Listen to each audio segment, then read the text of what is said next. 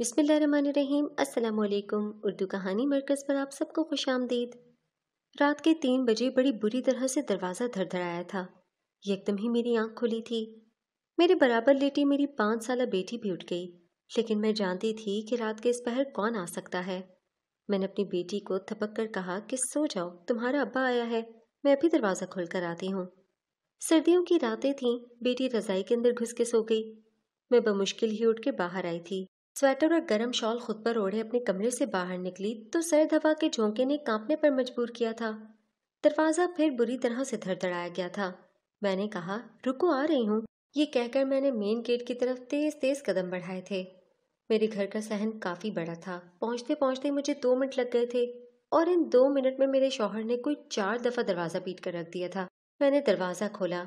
इरादा तो मेरा यही था कि उसे खरी खरी सुना दूँ कि रात के इस पहर तुम क्या दरवाज़ा पीटे जा रहे हो। कम से कम हमारा नहीं तो मोहल्ले वालों का ख्याल कर लो। लेकिन उसके साथ एक चौदह साल बच्ची को देखकर तो मैं सांस लेने ही भूल गई थी। मेरे शौहर ने उसका हाथ मजबूती से पकड़ रखा था और वो बेतहाशा रोई जा रही थी। एक हाथ में छोटा सा बैग भी था। उस बैग को देखकर तो मैं समझ गई कि यकीनन इसमें जेवर और नकदी होगी, क्योंकि मेरा शौहर एक डकेत था, लोगों के घरों में डाके डालता था। वो ना सिर्फ़ चोरी करता था, बल्कि हर बुराई करता था। शराब भी पीता था और बदकारी भी करता था।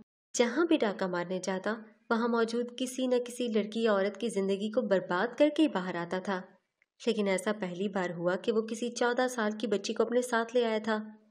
जैसे ही वो घर के अंदर दाखिल हुई, मेरे शौहर से अपना हाथ छुड़वाने की कोशिश कर रही थी। ये देखकर मुझे भी बहुत गुस्सा आया था। मेरे शौहर ने मेन गेट बंद किया और उस लड़की को घर के कमरे में ले जाने लगा। ये देखकर तो मेरी जान ही निकल गई थी। मैंने फ़ौरन से अपने शौहर के हाथ से उस बच्ची का हाथ छुड़वाया। मैंने कहा शर्म नहीं आती तुम्हें? छोटी सी बच्ची पर तो रहम खाओ। कहने लगा, तुम्हें क्या तकलीफ़ है? छोड़ो इसका हाथ। लेकिन मैंने उस बच्ची का हाथ नहीं छोड़ा। मैंने उस लड़की को तेज़ी से अपने कमरे की तरफ़ धकेला और बाहर से दरवाज़ा बंद करके कुंडी लगा दी और उस लड़की से कहा कि अंदर से दरवाज़ा लॉक कर लो। मेरी बच्ची भी अंदर सो रही थी, इसलिए मैं जानती थी कि मेरा शौर कभी भी अंदर नहीं जाएगा। उसे और तो किसी का लिहाज न था, लेकिन अपनी पाँच साल बच्ची से बेहद मोहब्बत करता था। मेरी इस हरकत पर मेरा शौहर मुझे गुस्से से देखने लगा। कहने लगा, हट पीछे, तुझे किसने इजाज़त दी कि तू मेरे कामों में दखल अंदाजी करे? मैंने कहा, तुझे शर्म नहीं आती? चौदह साल की बच्ची है वो, जिसे तू अपने साथ लेकर आया है और उससे गुनाह करना चाहता है? वो कहने लगा, मैं इस वक्त तेरी कोई बात सुनने के मूड में नहीं हूँ। जल्दी से उस लड़की को बोलो कि दरवाज़ा खोले और बाहर निकले। मैं अपनी रात बर्बाद करने के लिए उसे नहीं लाया, लेकिन मैंने उसे ऐसा कुछ भी नहीं करने दिया था। मैं जानती थी कि इस वक्त ज़रूर उसे शराब पी रखी है। कुछ देर के बाद ही वो नींद में चला जाएगा। और यही हुआ था। वो मुझसे लड़ने झगड़ने लगा, लेकिन फिर उस पर से शराब का नशा उतरने लगा था, इसलिए कमरे में जाकर सो गया। मैंने सुकून का सांस लिया। मैंने ये सोचा था कि सुबह को उस लड़की को भगा दूँगी, लेकिन जैसे ही सुबह हुई तो मेरा शौहर मेरे जागने से पहले उठ चुका था। मैं सहन में रखी चारपाई पी सो गई थी, लेकिन जब मेरी आँख खुली तो मेरा शौहर बड़ी बदहवासी से कमरे से बाहर निकल रहा था। मैं यकदम उठकर बैठ गई। मैंने तो उस लड़की को कमरा अंदर से बंद करके लॉक करने का कहा था। फिर मेरा शौहर कैसे उस कमरे से बाहर आ रहा था? उस बेवकूफ़ लड़की ने दरवाज़ा कैसे खोल दिया? मैं यही सोच रही थी कि जब मेरे शौहर के चेहरे पर छाई बदहवासी ने मुझे और परेशान किया था, मैं चारपाई से उठ के उसके पास आ गई। मैंने कहा, शर्म नहीं आई ना तुम्हें? मैंने कहा भी था कि छोटी सी बच्ची है वो, लेकिन तुम्हें तो कुछ भी नज़र नहीं आता। ये कहकर मैं कमरे के अंदर गई तो मेरी चीखें निकल गई थीं। वो चौदह साल लड़की मर चुकी थी। शायद वो बच्ची वज़न बर्दाश्त ही नहीं कर पाई, जो मेरे शौहर ने उसके साथ किया था। मैं रोने लगी और अपने शौहर का गिरबान पकड़कर बुरी तरह से झंझोड़ दिया। मैंने कहा, तुम्हें शर्म नहीं आई? ये तुमने क्या कर दिया है? कहने लगा बस शराब के नशे में मुझसे ये सब कुछ हो गया।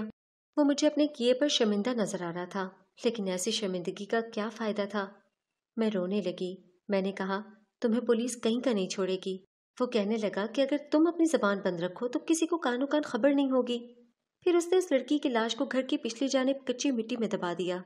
फिर मेरे पास आ गया। मैं बेतहाशा रोई जा रही थी। मुझे उस लड़की के मर जाने का बेहद अफसोस था। बार बार उसका चेहरा मेरी आँखों के सामने आ रहा था और मुझे अपने शौहर से नफरत महसूस हो रही थी। वो मेरे पास आकर कहने लगा कि अपनी जबान को हमेशा के लिए बंद रखना। खबरदार, जो तुम्हारी जबान से एक लफ्ज भी निकला तो। मैं खामोश हो गई, लेकिन उसके बाद जो कुछ मैंने देखा उस पर यकीन करना मुश्किल था। मैंने देखा कि मेरे शौहर को नींद नहीं आती थी। वो बार बार बेचैनी से उठ बैठता था। कभी बदहवास होता, मुझसे पानी मांगने लगता। एक महीना उसकी यही हालत रही। एक महीने बाद वो मुझसे कहने लगा, मुझे वो लड़की ख्वाब में नज़र आती है। मुझे उससे खौफ महसूस होता है, रुकैया। मैं उसे कोई भी जवाब न देती। दिल में ये कहती कि अच्छी बात है कि तुम्हारी भी नींदें हराम हुई हैं। तुमने कम लोगों की ज़िंदगी को बर्बाद नहीं किया। लेकिन जैसे जैसे वक्त गुजरने लगा था, उसकी हालत अबतर सी होने लगी थी। मैंने महसूस किया कि वो अब डाके डालने नहीं जाता था। एक दो महीने वो कहीं भी डाका डालने नहीं गया था, लेकिन इसके बाद घर पर फाके की नौबत आने लगी। मैंने उसे कुछ नहीं कहा, क्योंकि मैं नहीं चाहती थी कि वो ये बुराई का रास्ता इख्तियार करे। लेकिन जब बेटी को रोते हुए, बिलबिलाते हुए देखा तो मेरे शौहर ने एक जगह नौकरी कर ली। ये देखकर तो मैं जितना हैरान होती, उतना कम था। मुझे तो लगता था कि वो दोबारा डकेतियाँ ही मारेगा, लेकिन वो कहता था कि मुझे वो लड़की रात भर सोने नहीं देती।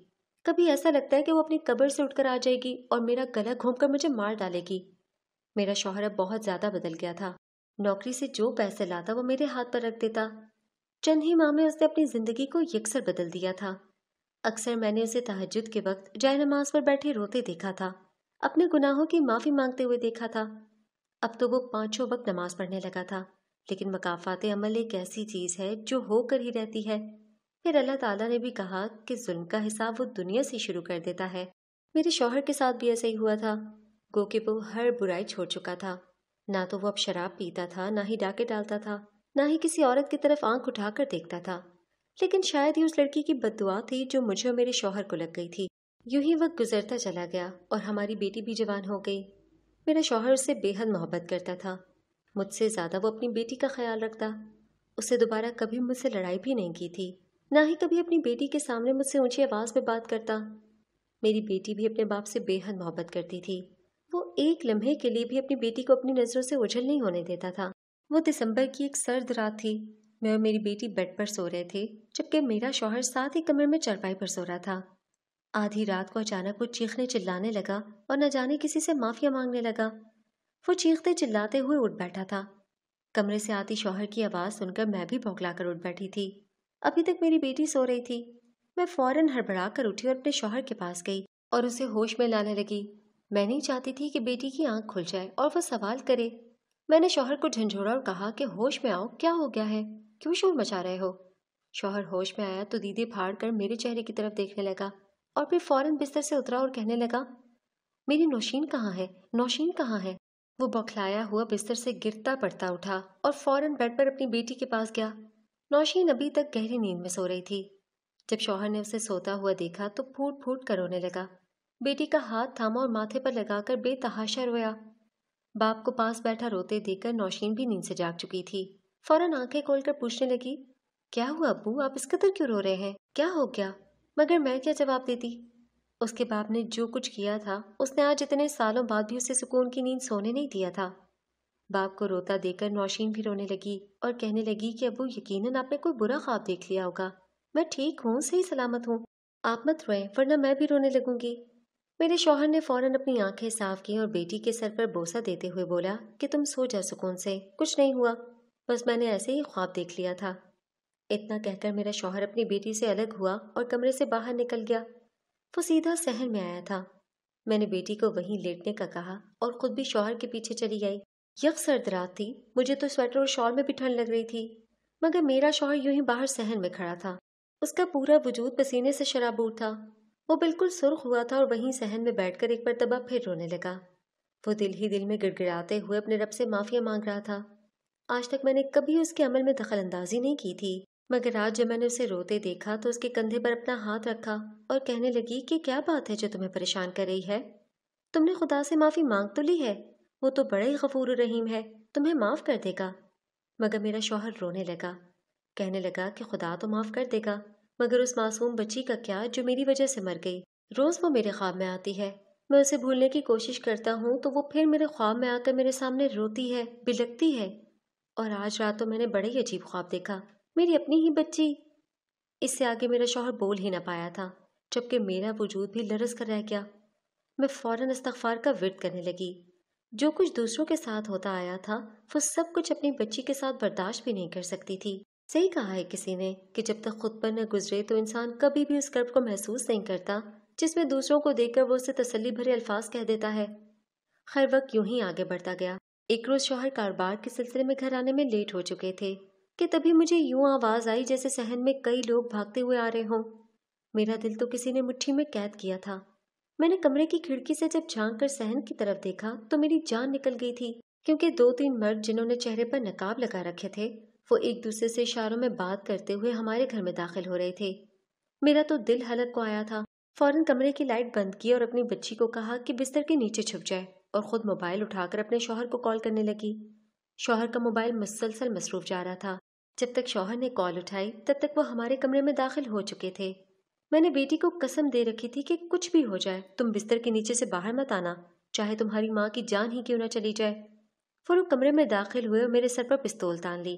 कहने लगे कि घर में जो भी सामान है, सब कुछ लाकर मेरे सामने रखो, वरना तुम्हारी खैर नहीं। मैं डरते डरते हर चीज़ निकालकर उन्हें देने लगी, कि तभी उस शख्स ने आगे बढ़कर खुद घर की तलाशी लेना शुरू कर दी। उसका ध्यान बिस्तर के नीचे गया। वो जो ही बिस्तर के नीचे झांकने लगा तो मैं उसे कहने लगी कि वहाँ कुछ भी नहीं है। जो कुछ था अलमारियों में वो मैंने तुम्हें दे दिया। अगले ही पल उसने कमरे में फायर कर दिया। फायर करते ही मेरे साथ मेरी बेटी की चीख भी गूंजी। वो कमीनगी से हंसा था और फिर मेरी बेटी को बालों से दबोचकर बिस्तर के नीचे से निकाला। मेरी बेटी दर्द से चीखने चिल्लाने लगी थी, मगर उन सफाक दिल लोगों को रहम न आया। एक शख्स ने मुझे यके बाद दीगरे कई थप्पड़ और पिस्तौल से सर पर वार करना शुरू कर दिया। मैं बेहोश होकर गिर चुकी थी। मेरे नाक और मुँह से खून आने लगा था।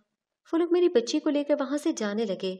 मैं उनके पैरों में गिर गई, अपनी बच्ची को बचाने की हर मुमकिन कोशिश करने लगी, मगर वो लोग मेरी बच्ची को लेकर जाने लगे। उस पल मेरा शौहर घर में दाखिल हो गया। उनके बीच हाथापाई शुरू हो चुकी थी।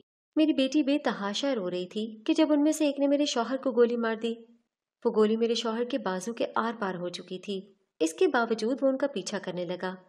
वो लोग अपनी गाड़ी में बैठकर फरार हो चुके थे। मेरे शौहर ने भी अपना मोटरसाइकिल लिया और उनके पीछे गया। मैं गली में खड़े अपने शौहर और बेटी के लिए दुआ कर रही थी। दो घंटे बाद मेरा शौहर वापस आया था। खुदा का शुक्र कि मेरी बेटी उसके साथ थी। दोनों ही लहूलहान थे। मेरी बेटी तो बेहोश होने को थी, जबकि मेरा शौहर खून से लथपथ था। मोटरसाइकिल से उतरते ही गिर गया। कहने लगा कि मैंने अपनी बच्ची की इज़्ज़त बचा ली, मगर आज जो कुछ हुआ, वो उस लड़की की बददुआ थी। शायद वो लड़की मुझे कभी भी माफ़ नहीं करेगी। मेरा शौहर आखिरी बार अपनी बेटी के सामने सिसक कर रो रहा था और अपने गुनाह को कबूल कर रहा था। मेरी बेटी जिसके चेहरे पर जख्म और बाल बिखरे हुए थे, वो रो रही थी। शौहर आखिरी साँसें ले रहा था और फिर वहीं पर वफात पा गया। मगर जाते हुए भी वो अपनी गलती पर शर्मिंदा था और अपने गुनाहों की खुदा से माफ़ी मांग रहा था। यही कह रहा था कि मेरे रब बेशक मेरे गुनाहों की सज़ा मुझे दे दे, मगर मेरी बच्ची और मेरी बीवी को इसका बदला न देना। यही अल्फाज थे मेरे शौहर के जब उसका दम निकला था। मैं बेवा हो चुकी थी। वो रात हम पर बड़ी भारी थी। मैं और मेरी बच्ची फूट फूट कर रोते रहे। अगली सुबह शोहर को दफनाया और अपने शोहर की वसीयत के मुताबिक हम वो मोहल्ला छोड़कर सारा सामान लेकर दूसरे शहर चले गए, क्योंकि अब वहाँ पर रहने से लोगों ने मेरी बेटी के बारे में तरह तरह की बातें करनी थी, जो कि मैं बिल्कुल भी नहीं सुन सकती थी। मेरी बेटी तो बिल्कुल खामोश हो चुकी थी। उसके दिमाग पर इस वाक्य ने गहरा असर डाला था, मगर काश मेरा शोहर ये सब पहले जान लेता कि आज वो जो कुछ किसी और की बेटी के साथ करेगा, कल को वही सब कुछ उसकी अपनी बेटी के साथ भी होना था।